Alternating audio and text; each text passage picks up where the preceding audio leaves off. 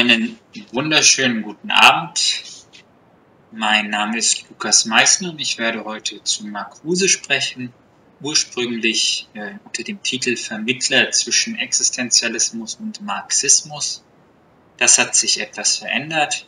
Das Ganze spielt aber dennoch innerhalb der Einführung in die radikale Philosophie, einer Vortragsreihe im Wintersemester 21-22, ausgerichtet von der HARP, und der neue Titel lautet nunmehr die Radikalisierung des politischen Projekts der Moderne, Marcuses emanzipatorische Vernunft für eine rationale Gesellschaft.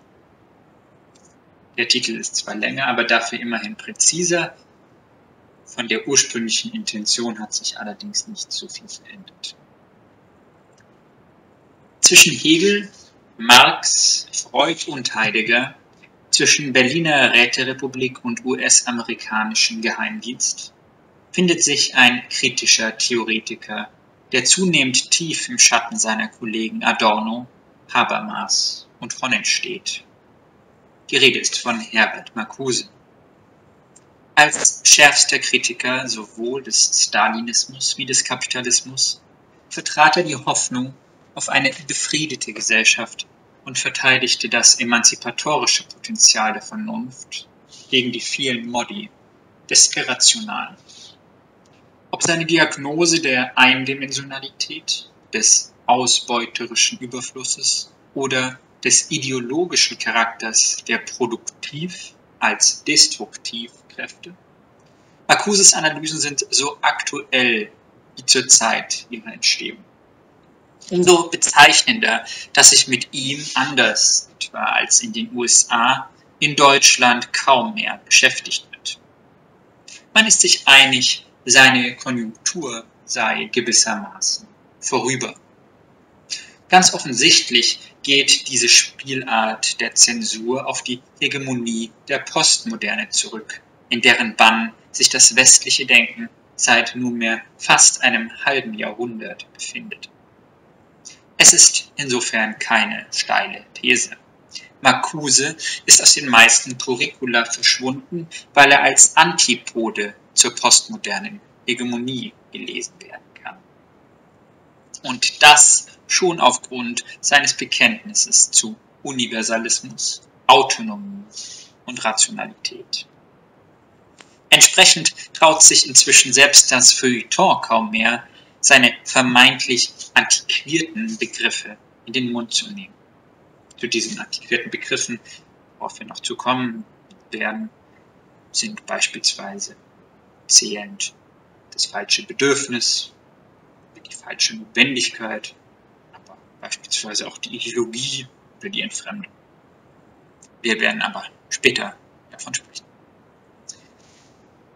Marcuse wollte dem frühen Marx und dem späten Oscar Wilde nicht unähnlich eine Synthese wagen aus sozialem Individualismus und demokratischem Kommunismus.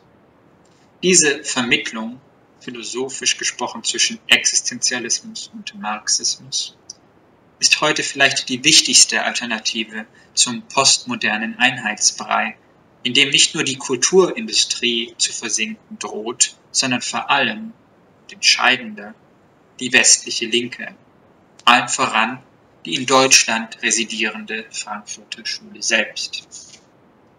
Gegen jene Versenkung verteidigt Marcuse ein radikalisiertes, politisiertes Projekt der Moderne gegen dessen kapitalistische Vereinnahmung.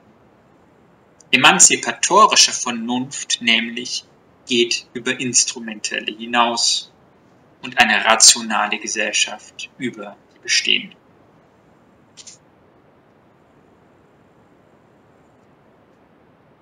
Insofern kommen wir zum ersten Kapitel, das benannt ist von immanenter zu transzendierender Dialektik. Die Frankfurter Schule hat die letzten Jahrzehnte von allen Cassandras verlassen, trojanische Pferde der Begrifflichkeit unter dem eigenen Dach einziehen lassen, deren heimliche Besatzung den ureigenen Bestand der Kritik aus den heiligen Hallen ihrer Theorie hat entführen können. Was nun soll diese Metapher? Sie will besagen, was es als Geschenk an den kritischen Geist gab, nämlich das Wiederaufnehmen marxistischer Termini unter zeitgenössischen Konditionen, entpuppte sich bald als konzertiertes Entfernen des begrifflichen Gehalts selbiger Termini. Von Habermas Rekonstruktion, sogenannter Rekonstruktion des historischen Materialismus über Honnets Reaktualisierungen der Verdinglichung oder des Sozialismus bis zu Jägis konzeptueller Transformation der Entfremdung hat die Frankfurter Schule inzwischen zwar formal die Worte zurück, die ihre erste Generation vom Marxismus übernommen hatte, jedoch mit kaum wiederzuerkennendem, tatsächlich postmarxistischem Kern. Entfremdung und Verdinglichung, historischer Materialismus und Sozialismus dürfen also zwar wieder offiziell ausgesprochen werden in den Reihen der Frankfurter Schule, allerdings nur in ihrer rechtshegelianisch entschärften Version. Ganz anders als besagte Rekonstruktionen und Reaktualisierungen der zweiten, dritten und vierten Generation verstand Herbert Marcuse die Arbeit des Begriffs noch als eine durchaus radikale. In dem, was sich in seinem Sinne emanzipatorische Vernunft nennen ließe, die allein kritischer Theorie äquivalentes Werkzeug sein könnte, bringt Sprache sich in transzendierender Bedeutsamkeit zurück zu sich selbst und damit über sich hinaus. Nun ist Marcuse vom Linkshegelianismus stark geprägt worden, doch lässt sich seine emanzipatorische Vernunft darum noch nicht abstrakt reduzieren auf das oft leer bleibende Schlagwort der Dialektik. Wenngleich die meiste Dialektik emanzipatorischer Vernunft gewiss näher kommt als alle positivistische Isolationshaft in Verdinglichungslogik. Grundsätzlich mag insofern zunächst zwischen zwei Arten der Dialektik unterschieden werden, nämlich zwischen einer immanenten und einer transzendierenden Dialektik.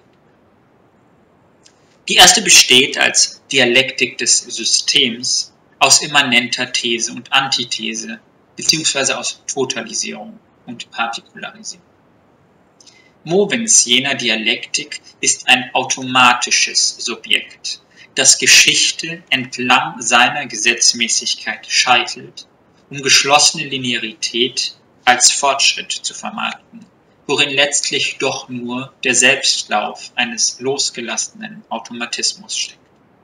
Solche Dialektik des Systems ist, soziologisch gewendet, wie es kritische Theorie stets tut, Dialektik des Kapitalismus, die es diesem gestattet, alles Moderate noch nicht in seinen Präsentismus zu inkorporieren, aufzuheben, bis noch die Wünsche nach Kreativität und Autonomie mit dem Wertgesetz des Kapitals versöhnt scheinen. Dass sie dergestalt versöhnt nur erscheinen, betont die emanzipatorische Vernunft aller kritischen Theorie gegen die sogenannte Soziologie der Kritik, etwa nennt es Luc Boltanski. Die andere, transzendierende Dialektik aber ist zu begreifen als eine wahrhaftige Vermittlung von Subjekt und Objekt genauer von objektiver Kultur mit politischer Intersubjektivität oder von menschlichem Wollen, Wünschen und Tun mit den eigenen Produkten und Reproduktionsweisen. In dieser die immanente Dialektik des kapitalistischen Systems transzendierenden Dialektik wird die blinde Vorgeschichte heteronom sich perpetuierender Verhältnisse durch den mit Marx gesprochen, Beginn der Geschichte ersetzt. Das heißt durch demokratische Selbstverwaltung. Diese transzendierend vermittelnde Dialektik nun ist genau, was die Kritik an der immanent systemischen Dialektik von emanzipatorischer Vernunft unternommen, im Sinn und damit auch vorhat. Strukturen Objektivität und Notwendigkeit bleiben gewiss auch in ihr, aber sie sind nun vermittelt mit Intention, Subjektivität und Freiheit. Das Reich der Notwendigkeit würde hierin also nicht nur geschrumpft, vor allem wäre es nunmehr mit Bedeutung gefüllt und nicht länger entfremdet. Schon hier zeigt sich, Zitat Marcuse, the groundwork for building the bridge between the ought and the is, between theory and practice, is laid within theory itself. Zitat Ende. Transzendierende Dialektik wäre somit Praxis. Praxis als ein Vermitteln von Sollen und Sein, als ein Vermitteln von Moral und Politik, als ein Vermitteln von Utopie und Realität. In ihrem Weg steht damit nicht objektive Kultur als solche, sondern deren Form als materielle Ideologie das heißt als Materialisierung der Legitimation, beziehungsweise als materiell verwirklichte Necessitierung von Herrschaft. Für jene Dialektik insofern, die die immanente Dialektik des kapitalistischen Systems transzendiert, ist eine Ideologiekritik vonnöten, die, was in der gesellschaftlichen Objektivität realiter möglich ist, den vergesellschafteten Subjekten auch wieder als realistisch ins Recht setzt. Besagte Ideologiekritik aber ist nur denkbar als Praxis emanzipatorischer Vernunft. Und kritische Theorie ist nichts anderes als der Modus vivendi, als die Arbeit gegen Entfremdung emanzipatorischer Vernunft.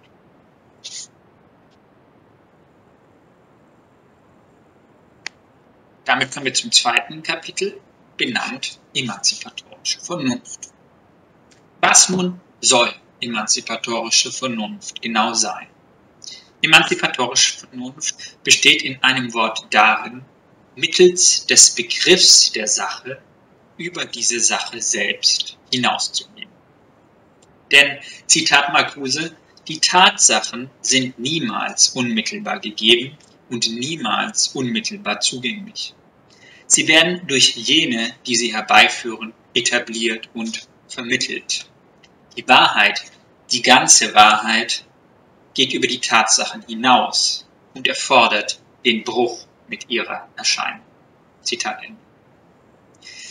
Emanzipatorische Vernunft nach Marcuse also unterscheidet, eben weil sie kritische ist und krinein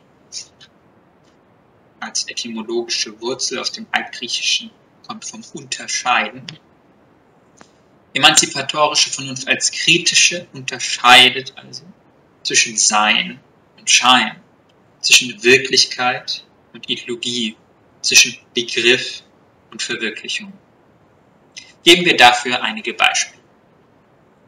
Im Begriff der Demokratie etwa findet emanzipatorische Vernunft mehr und anderes als die repräsentative Postdemokratie der Marktkonformität, an die wir so oft gewöhnt sind. Nämlich findet sie darin einen Zustand, der erst erreicht wäre, wenn politische Deliberation aller vermeintlichen Alternativlosigkeit enthoben wird. In ähnlicher Weise deckt emanzipatorische Vernunft im Begriff der Freiheit das Bestreben auf, sich nicht mehr vom, mit Marx gesprochen, stummen Zwang der Verhältnisse fremdbestimmen zu lassen, sondern in politischer Autonomie über die eigenen Produkte und Reproduktionen des gesellschaftlichen Zusammenhangs mitzubestimmen.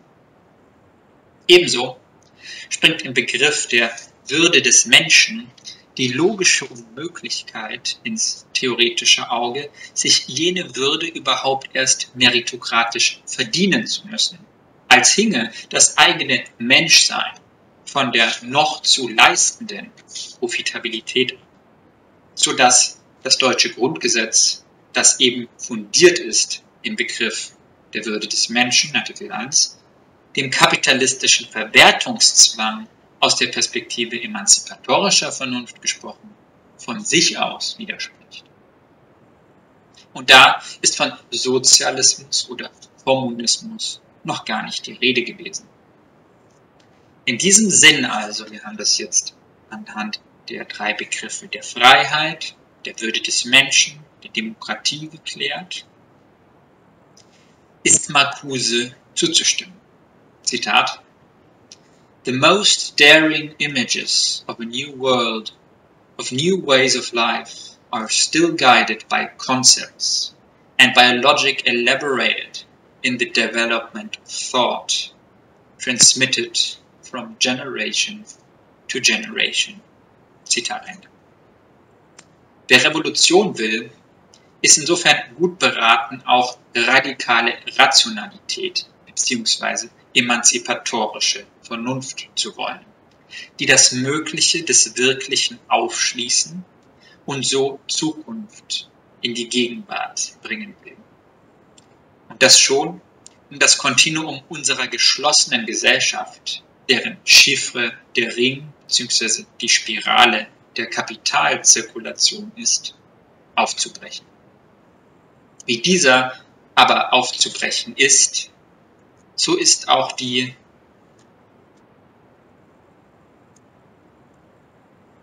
Entschuldigung, ich hatte gerade ein kleines technisches Problem, wir probieren es weiter. Äh, wie dieser aber aufzubrechen ist, dieser Ring, so ist auch die Umkreisung durch eine ökonomische Vernunft als, Zitat, Reason of Domination, Zitat Ende, im Sinn sowohl des Grundes wie der Vernunft zu überwinden. Emanzipatorische Vernunft ist nämlich genau dem entgegengesetzt, was Horkheimer einst als instrumentelle oder repressive Vernunft betitelte. Zitat Marcuse Beyond the limits and beyond the power of repressive reason now appears the prospect for a new relationship between sensibility and reason, namely, the harmony between sensibility and a radical consciousness. Zitat Ende. Emanzipatorische Vernunft heißt das, ist das exakte Gegenteil einer viril abgespaltenen, dualistisch abstrahierten, formalistisch reinen Vernunft, die ihr anderes nur objektivieren, beherrschen und verdinglichen kann. Als theoretische ist emanzipatorische Vernunft vielmehr immer auch schon praktisch denn ihr Geist ist, mit Merleau-Ponty gesprochen, inkarniert. Sie ist Artikulation des Fleisches. Dieser Aspekt emanzipatorischer Vernunft war Marcuse besonders wichtig. Zitat Instead of being shaped and permeated by the rationality of domination, the sensibility would be guided by the imagination mediating between the rational faculties and the sensus needs. Zitat Ende. Das Denken emanzipatorischer Vernunft ist damit nicht frei von Leiblichkeit, sondern stattdessen vielmehr frei zu ihr. Und als solche Freiheit dessen eigenste Stimme. Stimmung und Bestimmung heißt das in eins. Der Kopf emanzipatorischer Vernunft ist somit nicht verkopft, sondern Teil des Körpers und als solcher Geste zur Umwelt. Seine Reflexion ist nicht abgewandtes Kontemplieren, sondern Vermittlung. Vermittlung hier von Bedürfnis und Wille. Vermittlung von Soma und Sprache. Vermittlung von Sozialität und Innerlichkeit. Vernunft ist damit nicht mehr Beherrschung innerer und äußerer Natur, sondern Mitbestimmung über die innere und äußere zweite Natur. Das heißt, über die eigene Vergesellschaftung zum Subjekt sowie über die geschichtliche und gesellschaftliche Reproduktion objektiver Kultur. Als solche Mitbestimmung aber ist emanzipatorische Vernunft Ausfluss der, Zitat Marcuse, non-aggressive, erotic, receptive faculties of man and women, würden wir hinzufügen, Zitat Ende, in Richtung einer Befriedigung von Kultur und Natur, einer Versöhnung.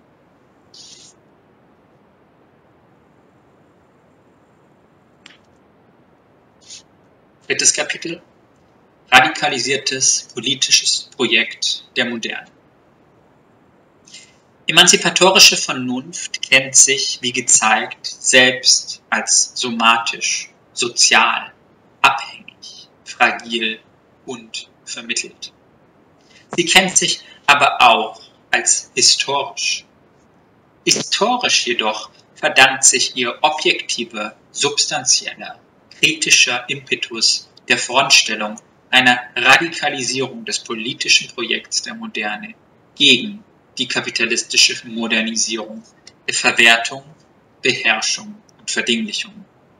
Ganz so, wie etwa Alan Makesons Wood es in Democracy Against Capitalism, Capitalism beschreibt.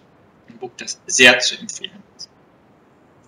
Von Webers Rationalisierung, deren asketischer Verzicht synonym ist zu einem Verlust der eigenen Zwecke, bis zu Freuds Rationalisierung, die identisch ist mit Verdrängung und Gewalt gegen die eigenen Bedürfnisse, ist die Rationalisierung kapitalistischer Modernisierung inhärent irrational.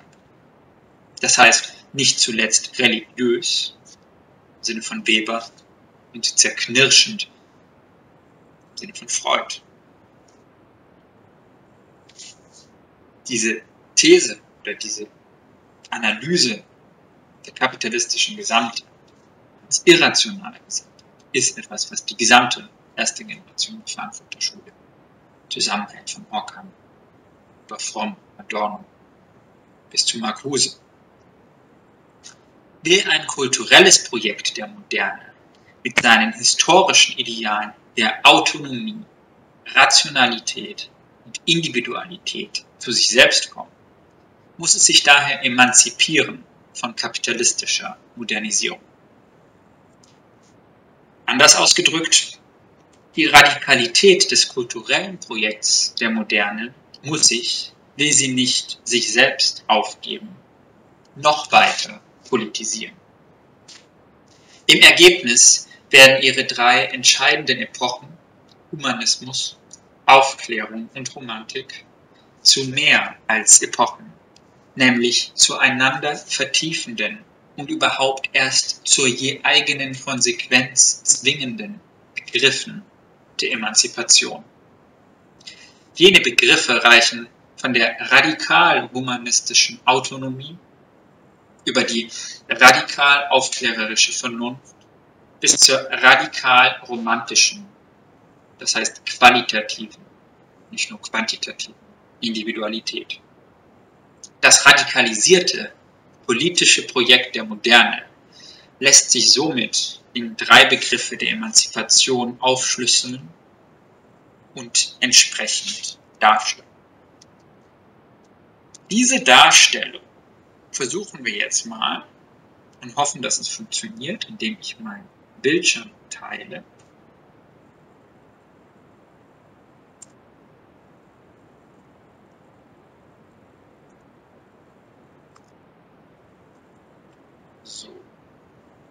You're sharing your screen.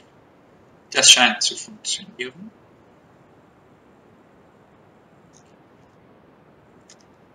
Hier haben wir also die entsprechende Auflistung des radikalen Projekts der Moderne, von dem ich gesprochen habe.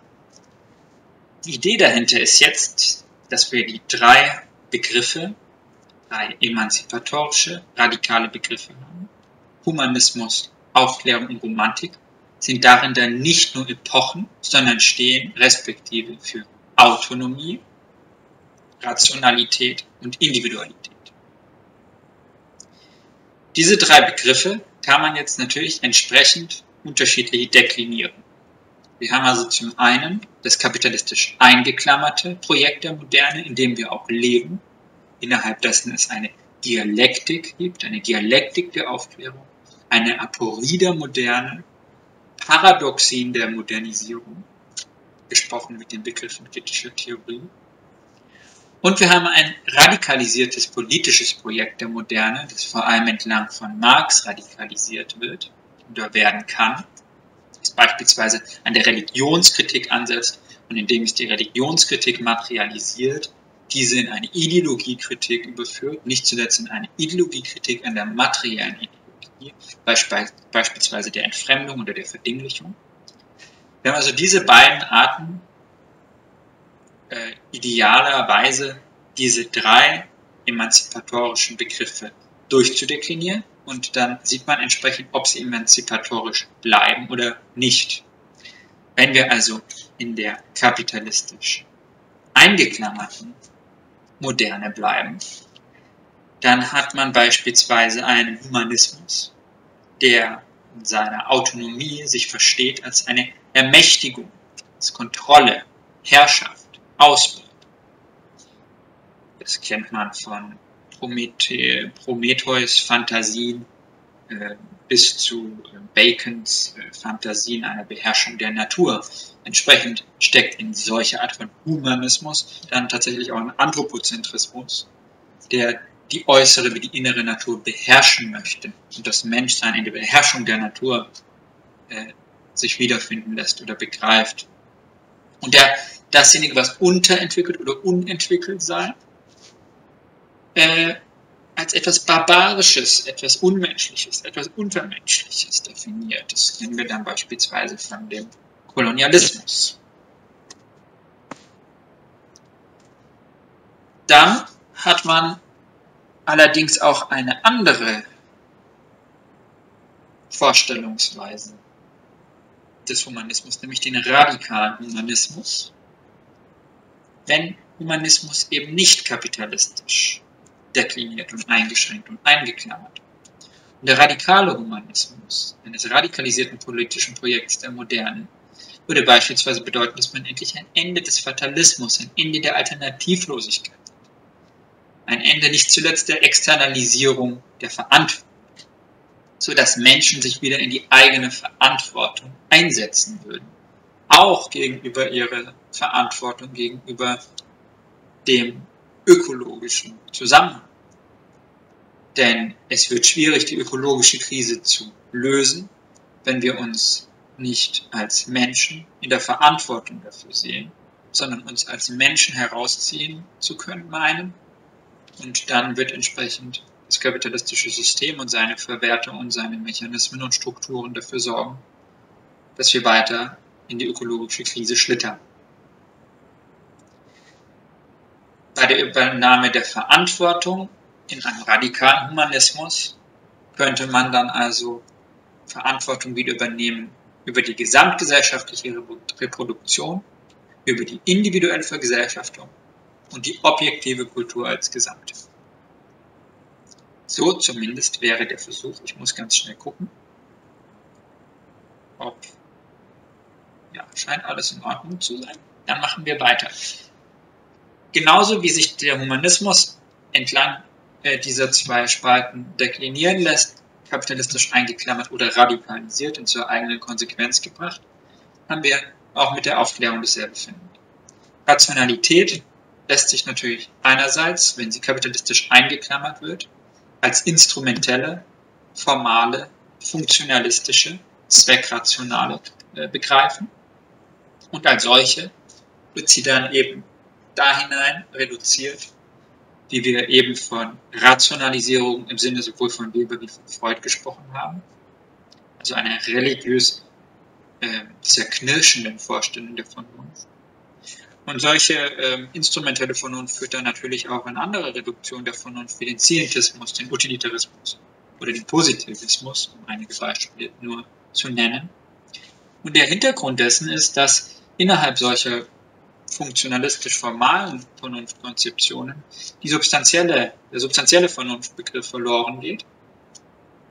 Jede Form von kritischer Rationalität, die nach den Zwecken, nach dem Telos, nach dem Ziel dessen fragt, was wir alles so effizialisieren.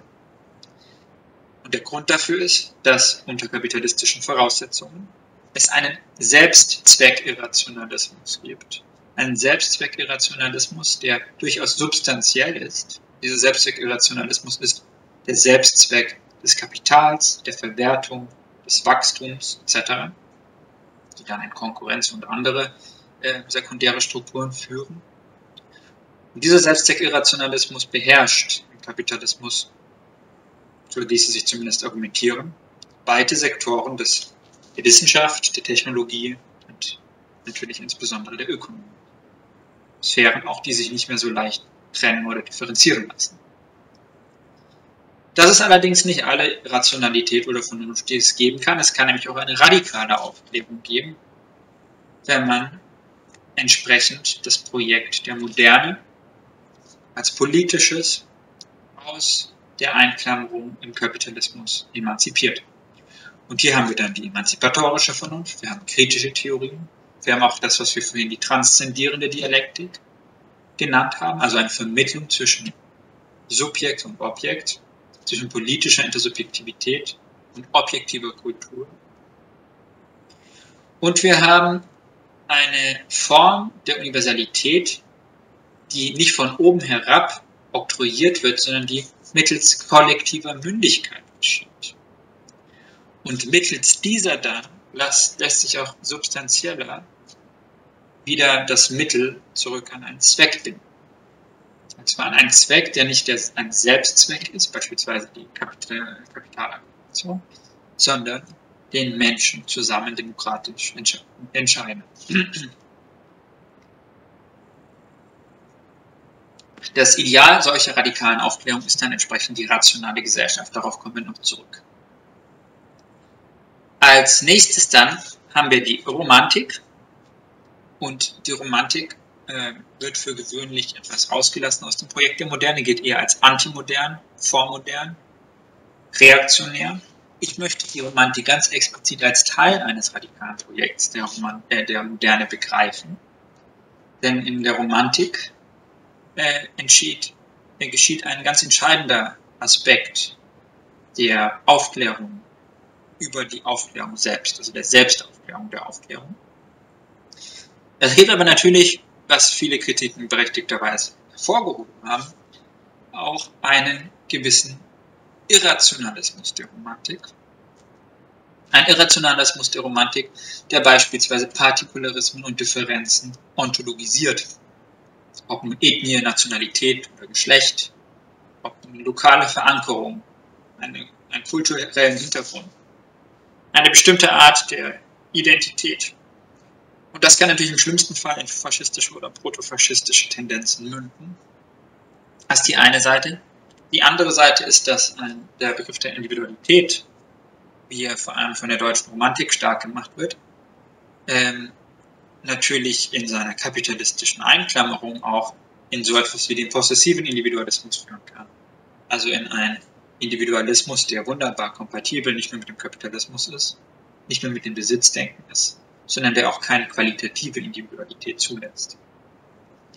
Es gibt dann aber eben auch die radikale Romantik. Und als radikale Romantik, da kann man sich an Michael Löwy und andere anschließen, die das theoretisiert haben, äh, lässt sich von einem Individualitätsbegriff ausgehen, der die Unverfügbarkeit, mit Hartmut Rosa gesprochen, des Nicht-Identischen, Adorno gesprochen, in sein Zentrum. Die Unverfügbarkeit des Nicht-Identischen ist hier also das, was die Romantik und ihren emanzipatorischen Begriff der Individualität ausmacht. Und als solches, als solche Individualität, sind Lebewesen dann auch zu begreifen als psychosomatische Komplexitäten, nicht reduzierbar auf bestimmte objektivierbare Dinge. Sozialqualitative Individualität und Authentizität stehen hier im Zentrum einer solchen Nicht-Identität. Und eine solche Nicht-Identität ist auch entsprechend vulnerabel auf der einen Seite, auf der anderen allerdings auch resistent gegenüber bestimmten Liquidierungsprozessen, gegenüber bestimmten Opportunismen und Konformismen. Und sie ist nicht zuletzt Resonanz, resonant, um nochmal Hartmut Rose aufzugreifen, äh, gegenüber ihren anderen. Das heißt, das ganz andere zeigt natürlich eine Resonanz gegenüber seinen anderen, anders als das, was sich von Anfang an als das eine und alle darstellt. Somit hätten wir also hier mit dem radikalisierten politischen Projekt der Moderne auch eine, einen radikalen Humanismus, eine radikale Aufklärung, eine radikale Romantik, die zusammen wenn man sie zusammendenkt, über die, das kapitalistisch eingeklammerte Projekt der Moderne hinausweisen. Und damit höre ich mal auf, mein, das zu sharen, zu teilen und gehe zurück in den Vortrag. Es ist nämlich nun so,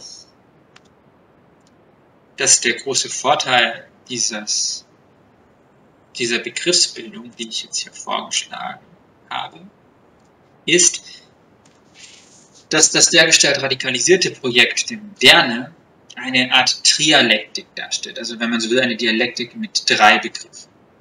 Mit nicht nur These und Antithese, sondern mit drei einander ergänzten Begriffen. Damit gewissermaßen eine Dimension mehr, wenn man so möchte. Die sich eben gegenseitig ergänzen, mehr als sich nur zu negieren. Und die als sich gegenseitig ergänzende Thesen und Antithesen sich konstruktiv kritisieren und kritisch vermitteln und damit dann in eine komplexe Synthese führen.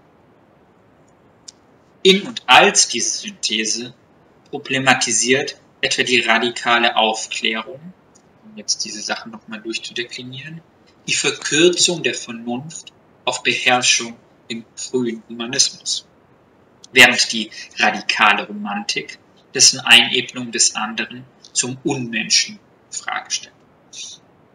Andererseits korrigiert der radikale Humanismus an der klassischen Aufklärung deren Vergessen der Sache des Menschen hinter den Fetischen der Wissenschaft und Technik und die radikale Romantik deren objektivierende Unterjochung der inneren wie äußeren Natur zum Zweck vermeintlicher Selbstherrlichkeit des Subjekts.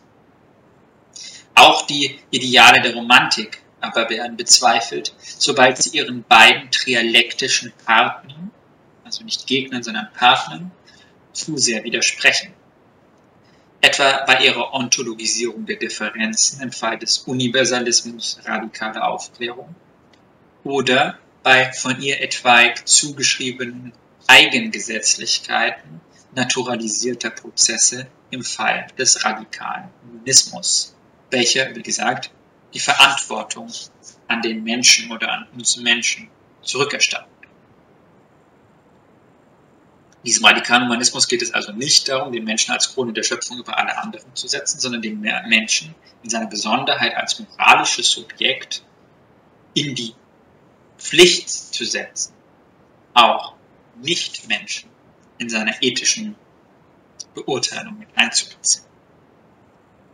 Mit einer solchen Trialektik der Radikalisierung braucht es also weder die irrationale Totalverabschiedung von Humanismus und Aufklärung als Kolonialismus oder Auschwitz, wie wir sie aus der neuesten Postmoderne nur zu gut kennen, noch auf der anderen Seite den rationalistischen Angriff auf die Romantik, an sich als Faschismus in Nuce, wie er bis heute von der älteren Linken betrieben wird. Die emanzipatorischen Begriffe des radikalisierten politischen Projekts der Moderne sind einander vielmehr ihrerseits selbstkritische Korrektive, ohne deren Trialektik jenes Projekt überhaupt nicht erst konsistent zu denken, geschweige denn praktisch umzusetzen wäre. Die komplexe Synthese, die sich aus den ergänzenden Antithesen eines radikalisierten politischen Projekts der Moderne schließlich ergibt, wäre aber erst die einer rationalen Gesellschaft politischer Autonomie, der Selbstlegislation der Nichtidentitäten, wie sie das eigentliche Ziel emanzipatorischer Vernunft darstellt. Mehr dazu im nächsten Abschnitt. Viertens. Rationale Gesellschaft und befriedete Existenz. Emanzipatorische Vernunft hat zum Ziel, das radikalisierte politische Projekt der Moderne mitsamt seiner emanzipatorischen Begriffe Autonomie, Rationalität und Individualität über dessen Einklammerungen in kapitalistischer Modernisierung hinauszudrücken. Das politische Ziel einer rationalen Gesellschaft nämlich ist unerreichbar unter den Konditionen eines irrationalen Ganzen, das vom Selbstzweck des Kapitals determiniert wird. Nun zeigt sich die Irrationalität der gesellschaftlichen, der, der kapitalistischen Gesellschaft exemplarisch in ihrer, Zitat Marcuse, Destructive Productivity, Zitat Ende, in ihren Produktiv- als Destruktivkräften, die sich beispielsweise in der geplanten Obsoleszenz der Waren vergegenständlicht, in ihrer Konstruktion falscher Bedürfnisse bzw. konsumeristischer Süchte auf der einen Seite und der Konstruktion von Bullshit-Jobs, mit David Graeber gesprochen, auf der anderen. In der Destabilisierung der Demokratien durch massive Spaltung der Gesellschaft, unter anderem entlang von Arm und Reich, oder in der ökologischen Katastrophe, vor der seit einem halben Jahrhundert, also so lange wie die Postmoderne uns in Atem hält und uns sagt, Natur ist ein metaphysischer Begriff und uns damit gewissermaßen von ökologischen Fragestellungen abhält, ohne zu hinreichendem Gegenhandeln führen zu können, da alles Handeln im Kapitalismus eingespannt bleibt in die Logiken von Profit und Wachstum. Einzig die Abschaffung der Ausbeutung und die Einführung nicht entfremdeter Arbeit wären insofern rationale Ziele und als solche wiesen sie über den Kapitalismus hinaus. In einer überproduktiven und damit überdestruktiven, wie wir gesehen haben, Gesellschaft wäre das einzig Rationale die Reduktion der Arbeitszeit und die folgende Ausdehnung des Reichs der Freiheit zugunsten politischer Deliberation sowie bedeutsamer Lebensaktivität, das heißt selbstbestimmter, womit eine rationale Gesellschaft auch zu einer Postwachstumsgesellschaft würde. Denn rational lässt es sich schlicht nicht begründen, dass wir immer mehr und noch mehr bräuchten, als wir schon haben, während genau diese Unersättlichkeit es uns verunmöglicht, auch nur unsere Grundbedürfnisse zu erfüllen, von den Bedürfnissen nach Sicherheit, Stabilität und Frieden bis zu denen nach Liebe, Resonanz und Anerkennung. Und dann nochmal einige zeitgenössische kritische Theoretiker mit einzubeziehen. Marcuse wirbt dem kapitalistischen Ganzen gegenüber darum für die große Verweigerung einer neuen Sensibilität, um das Leistungsprinzip zu überwinden. Denn dieses Leistungsprinzip ist für Marcuse, Zitat, ein Red Race of the Competitive Struggle for Existence. Zitat Ende.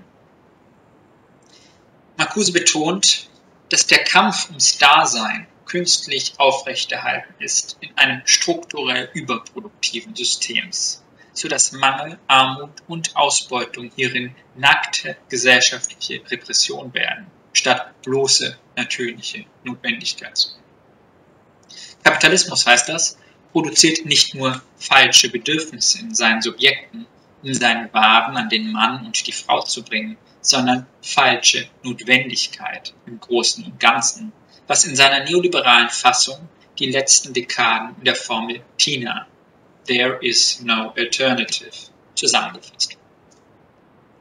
TINA allerdings wird ganz wortwörtlich tödlich in jenem biologischen Moment, in dem der Fortbestand des produktivistischen Systems, also des Kapitalismus, dessen eigene Umwelt, also den natürlichen ökologischen Zusammenhang, konsumiert und destruiert. Vor einer solchen Situation stehen wir allerspätestens heute. Statt dass der Klimawandel aber aufgehalten wird, bereiten die Superreichen bereits ihre Fahrt in den Weltraum vor, um dem Heimatplaneten zu entfliehen. Das wurde jetzt dann ganz schön, sage ich mal, kulturindustriell dargestellt im Film Don't Look Up. Ihnen, den Superreichen kurzum, darf das Projekt der Moderne nicht überlassen. Wir müssen, heißt das, den wissenschaftlich-technisch-ökonomischen Komplex wieder selbst in die Hand nehmen, um unser eigenes Schicksal, unser eigenes Überleben und Leben, unsere eigene Lebenszeit und Existenz zurückzugewinnen. Es geht kurzum darum, dass wir politische Autonomie ausüben über unsere eigene zweite Natur, von der objektiven Kultur unserer Produkte bis zur Vergesellschaftung unserer selbst, ohne die wir auch keine Individuen, Individuen jemals würden. Natürlich lässt sich Marcuse nur zustimmen, wenn er schreibt, Zitat, the, few, the further design of a new society can no longer be subject for any theory. It shall happen as the free work of liberated individuals. Zitat Ende. Dennoch lässt sich das ungefähre Ziel einer rationalen Gesellschaft bereits heute und hier projektieren, statt die Welt, wie wir jetzt gesehen haben, etwa an Adorno et al., im Stich zu lassen, indem man sich ins Schneckenhaus des Bilderverbots zurückzieht. Treffend lässt sich dieses Ziel, eine rationale Gesellschaft des guten Lebens, herausarbeiten, zunächst entlang dessen, was auch mit Marcuse nicht deren Ziel sein kann. So in einem konträren Vorhaben. Unternehmen. Schließlich sind wir noch online. Schließlich könnte man mit Marcuses Fokus auf Ästhetik und Spiel, Unbewusstem und Imagination meinen, er nähere sich hier postmodernen Fantasien der negativen Befreiung gegebener Triebe von der Vernunft. Eine solche Interpretation müsste ihn, der gerade in seiner Betonung der Leiblichkeit und Lust ein Verteidiger der Vernunft auch und der Universalität blieb, jedoch grundsätzlich missverstehen. Ziel politischer Autonomie ist für Marcuse insofern nicht die, Zitat, Entfesselung in Richtungen, welche die wirklichen Unterdrückungsmaschinen der Gesellschaft gänzlich unberührt lassen, die diese Maschinen sogar stärken, indem sie die mehr als private und persönliche und deshalb wirkliche Opposition durch die Befriedigung einer privaten und persönlichen Rebellion ersetzen. Zitat. Das war ein Zitat Marcuses erneut. Ziel ist vielmehr die Befreiung der Bedürfnisse statt die Erzeugung falscher Bedürfnisse oder deren Befriedigung. Das heißt Befriedigung statt abhängig und süchtig machen. Befriedung statt weiteres Aufpeitschen strukturell angelegter Unersättlichkeit. Gegen die postmodernen Irrationalisten wie Bataille, Deleuze oder Lyotard ist das Ziel folglich keine, Zitat Marcuse, Counter-Revolution anchored in the institutional structure, denn für Marcuse ist klar, Zitat, so-called consumer society, äh, so-called consumer economy and the politics of corporate capitalism have created a second nature of man and woman which ties him libidinally and aggressively to the commodity. Zitat Ende. Nun ist die Commodity-Form, also die Warenform, nicht wie etwa bei einem Lyotard der libidinösen Ökonomie für Marcuse gewiss nicht die Lösung. Die qua Domestizierung brutalisierte zweite Natur warenförmige Libido, die uns mittels aggressiver Werbung und Propaganda lange genug internalisiert wurde, kann für den Marcuse der 70er Jahre im Gegensatz etwa zum Poststrukturalismus derselben Zeit also nicht das Ziel.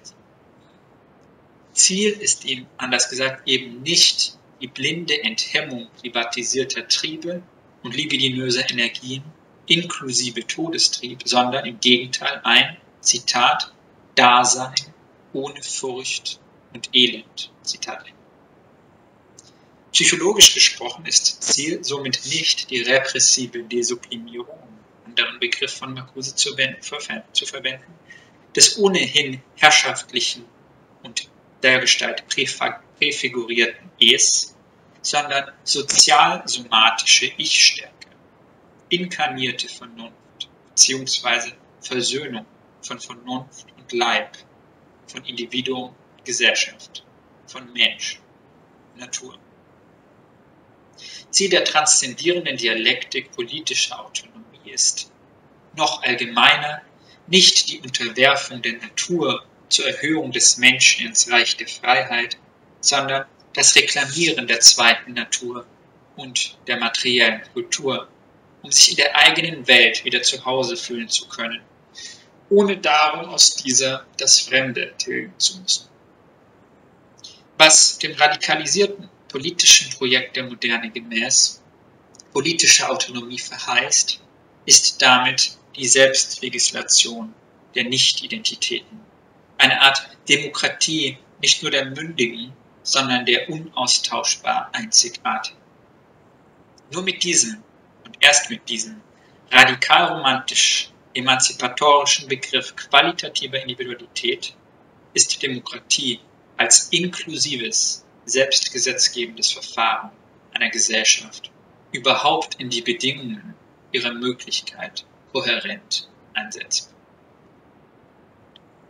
Und damit kommen wir zum Schluss, der schön benannt ist mit der Überschrift Das Herz der Vernunft, kommunistische Lust.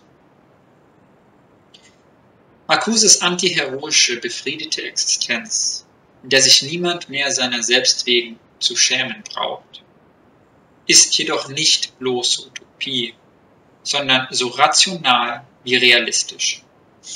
In einer überproduktiven Gesellschaft, wir haben es mehrfach jetzt schon gesagt, wie der unseren, die strukturelle Arbeitslosigkeit als, mit Marx gesprochen, stehendes Heer der Arbeitslosen systematisch reproduziert, wäre das Ende entfremdeter Arbeit längst möglich und ist es auch längst überfällig.